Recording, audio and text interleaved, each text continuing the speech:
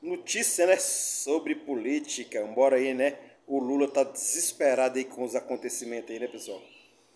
É, com a vitória aí das da direita aí nas prefeituras do Brasil, né? Mas São Paulo ainda está em briga aí entre a direita e a esquerda, né?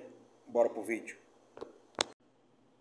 Bom, bora de notícia, né, pessoal? O presidente Lula se preocupa, né, com o resultado aí né, das eleições municipais, né, do, do Brasil, né, essas eleições que nós estamos passando por ali, ó, depois da, da vitória aí dele depois do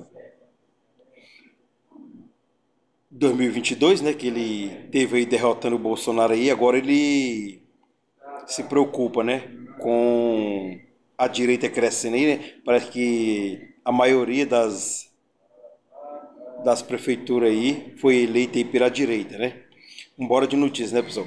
Resultado das eleições frustra a esquerda e cria novo problema para Lula, né?